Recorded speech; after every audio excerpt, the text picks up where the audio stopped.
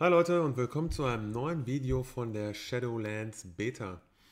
In diesem Video dreht sich alles um einen der mittleren Bosse aus dem neuen Schlachtzug Schloss Nathria und dabei handelt es sich um das ja, Event, um den Eventboss Rettung des Sonnenkönigs. Bedeutet also, wir haben es mit keinem geringeren zu tun als Keltas, den wir hier ja, retten müssen, indem wir ihn, ihr seht es vielleicht schon, im Hintergrund, er ist gekettet auf so einer Plattform, indem wir ihn ja quasi, er startet mit knapp 20% oder 15% HP, ihn auf maximale Gesundheit heilen.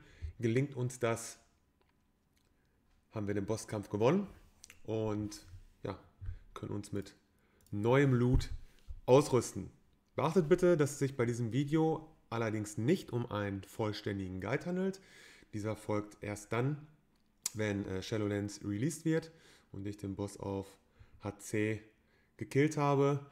Insofern ist es nur eine erste Preview von dem Boss, sprich eine erste Vorschau und wir schauen uns grundsätzlich an, wie der Fight funktioniert, was es zu beachten gibt und ja, eine erste Analyse, damit ihr euch schon auch jetzt, so wie ich, auf den Boss entsprechend vorbereiten könnt. Ja, wie bereits äh, eben angeklungen, Ziel ist es, Keltas auf 100% zu heilen. Uns davon abhalten wollen natürlich verschiedene Ad-Waves, wobei zumindest hier im LFR in der ersten Ad-Wave der ja, oberste Folterer Daritos eine zentrale Rolle einnimmt. Ich lasse es einfach mal jetzt laufen, denn er hat im Endeffekt nur eine Fähigkeit, das ist die Fähigkeit große Geißelungen. Bei großen Geißelungen werden mehrere Spielercharaktere fokussiert, erleiden Schaden und ja, dieser Schaden muss letztendlich von der Highline weggehalten werden.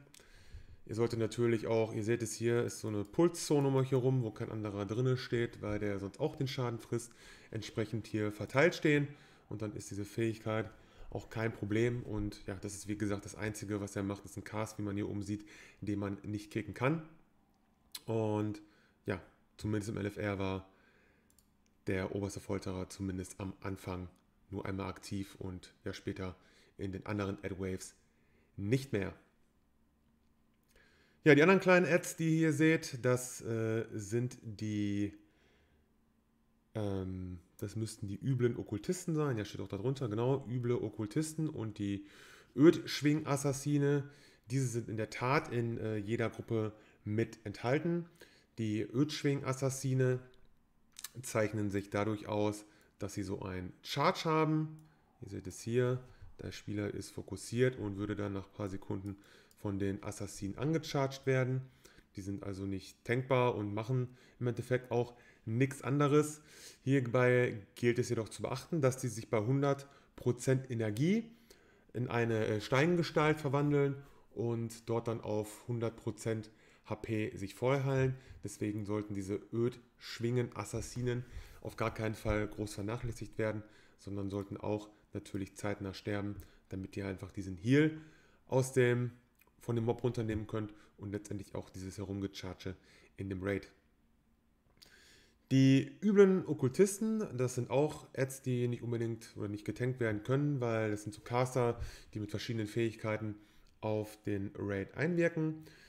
Zum einen äh, die Fähigkeit Vulgäres Brandmal. Das ist ein äh, Cast, der kickbar ist und auch gekickt werden sollte, weil äh, dieser Raid-Schaden an allen Spielern verursacht. Und ja, wenn dieser Cast auf alle Spieler durchgeht, würden die äh, sämtlichen Spieler im Raid 15 Sekunden lang 35% erhöhten Schaden erleiden, was dann natürlich in Kombination mit anderen Fähigkeiten hier äh, sehr gefährlich werden kann. Deswegen, äh, vulgäres Brandmal ist auf jeden Fall der Cast, auf den geachtet werden muss. Und der muss letztendlich dann auch äh, von den oder bei den üblen Okkultisten unterbrochen werden. Die zweite Fähigkeit, die diese üblen Okkultisten casten, ist die Fähigkeit verächtlicher Blitz. Das ist so ein Random Bolt, der auch äh, in die Gruppe gecastet wird und entsprechend ja, Random Schaden verursacht, muss auch weggehalten werden. Hinzu machen die noch so ein Schattentor, das heißt, sie teleportieren sich über einen Teleport an eine andere Stelle und das Besondere bei diesen Okkultisten ist, dass die bei Tod so einen Essenzborn fallen lassen. Das ist hier so eine, wird dann so eine Kugel sein. Diese Kugel ist anklickbar und ähm, wenn diese Kugel von einem Spiel anklickt wird, würde der Boss Keltas um 2% seiner Gesundheit geheilt werden. Beachtet bitte aber auch hierbei, dass diese Essenzborne nur eine gewisse Dauer auf dem Boden liegen. Sprich also, sobald diese da sind, sollte man sich gleich darauf stürzen und den entsprechenden, ja, damit der entsprechende Heal auf äh, Keltas draufgewirkt wird. Ja, das ist wie gesagt dann äh, der Pull und die erste Ad-Wave. Weitere Ads sind da erstmal nicht da und man hat jetzt erstmal ein paar Sekunden Zeit, um Heal auf den Boss zu bringen oder auf Ketas zu bringen. Ähm, wie ihr hier seht, kann man diesen Heal nicht nur über direkte Heilzauber von den Heilern auf den Boss bringen, sondern auch über diese sogenannten Seelensockel, die hier mehrfach verteilt stehen. Der Seelensockel ist von jedem Spieler anklickbar und man würde dann 15 Sekunden lang seine HP auf den Boss channeln. Natürlich erleidet man dadurch Schaden, deswegen müssen die Leute, die gerade am Channeln sind, von den Healern natürlich äh, auch entsprechend gegengeheilt werden. Ähm, da dieser Heal aber relativ effektiv ist, sollte natürlich auch jeder Spieler, sofern er nicht diesen Debuff hat, der verhindert, dass man diesen Seelensockel anklicken kann für eine Minute, auch das dann äh, entsprechend immer machen. Da wird wahrscheinlich später in anderen Schwierigkeitsgraden äh, es eine entsprechende Einteilung für geben.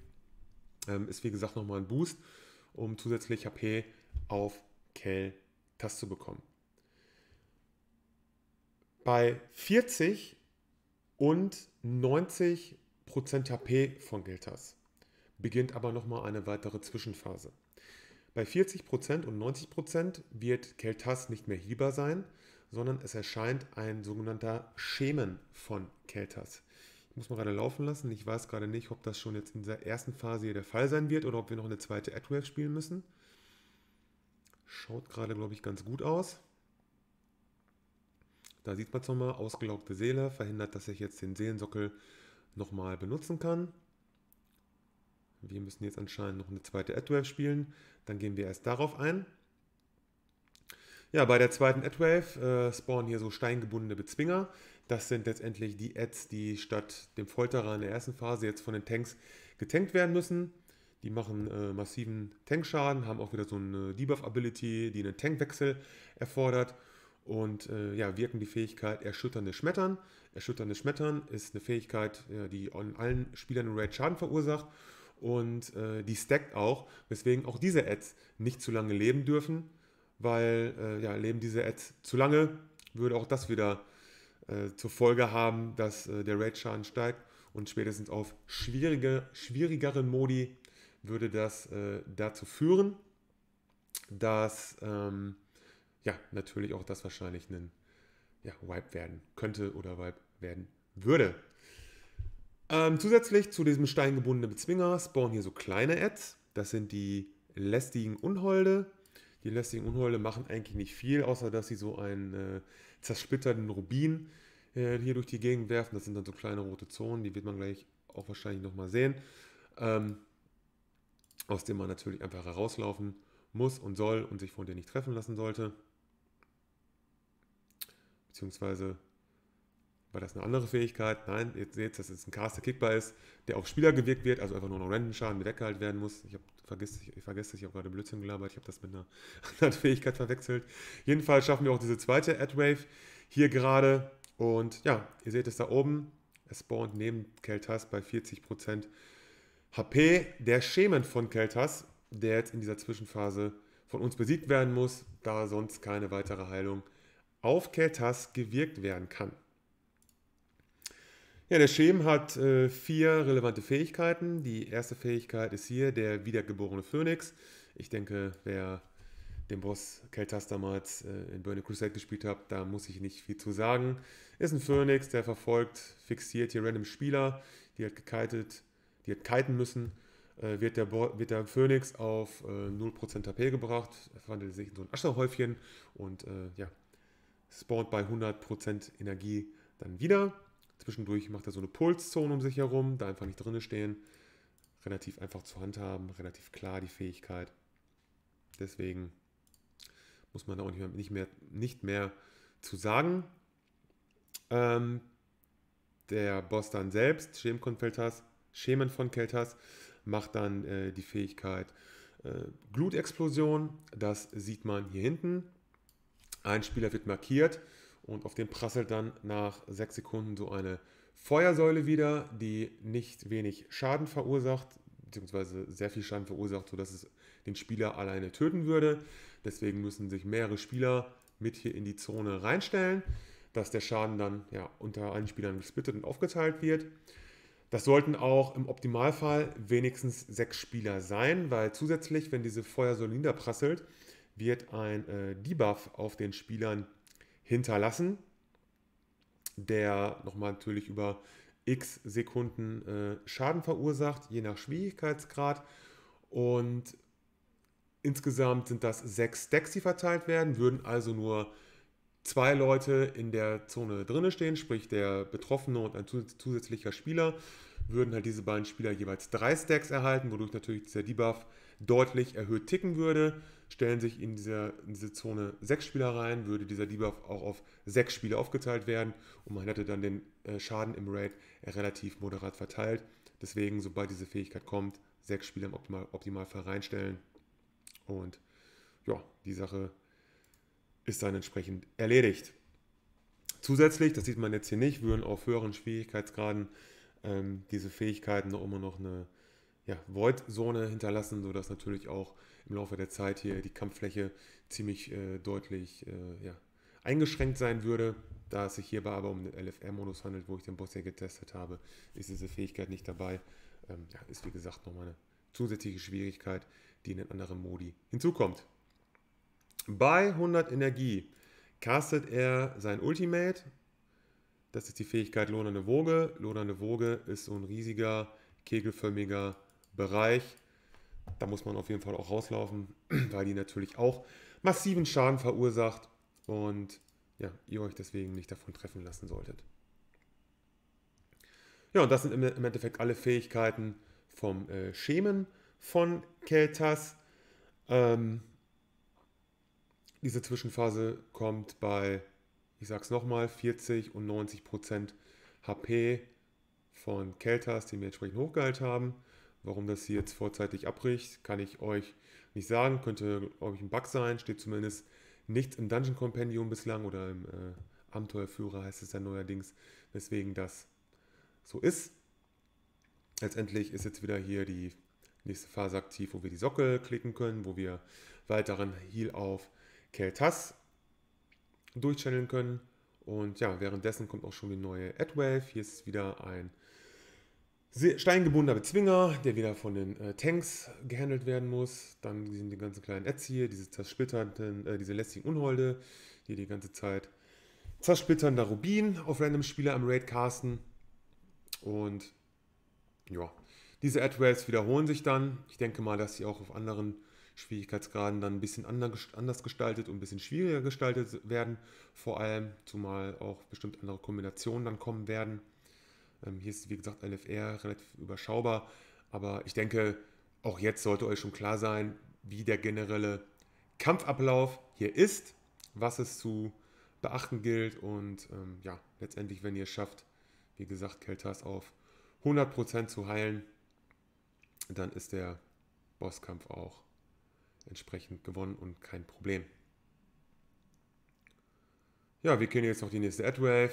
Das sind wie gesagt hier wieder unterschiedliche Kombinationen. Ich stelle mich wieder an den Sockel. Und ja, mehr gibt es im Endeffekt jetzt für den ersten Eindruck, für den ersten Einblick auch äh, nicht zu sagen. Im Endeffekt ähm, habt ihr alles gesehen, was es zu sehen gibt. Den vollständigen Guide mache ich letztendlich dann, wenn ja, ich den Boss auf HC gelegt habe. Auch da wiederhole ich mich. Von daher ja, kann ich das Video im Endeffekt abbrechen. Die letzten HP müssen wir uns nicht nochmal zu Gemüte führen. Ähm, ich hoffe, ich konnte euch mit diesem Video wieder einen ja, guten ersten Eindruck auf diesen Bosskampf geben und euch schon ein bisschen entsprechend vorbereiten, ähm, wenn ihr ja, zu Shadowlands in der ersten Normal- und HC-ID den Encounter angehen wollt. Wenn euch der Content gefällt, wie immer der Aufruf, lasst doch gerne ein Follow da, gerne auch auf Twitch oder auf Insta. Und ja, ich würde mich freuen, wenn ihr auch beim nächsten Video wieder einschalten würdet Bis dahin macht's gut, habt eine gute Zeit. Ciao, ciao und bye.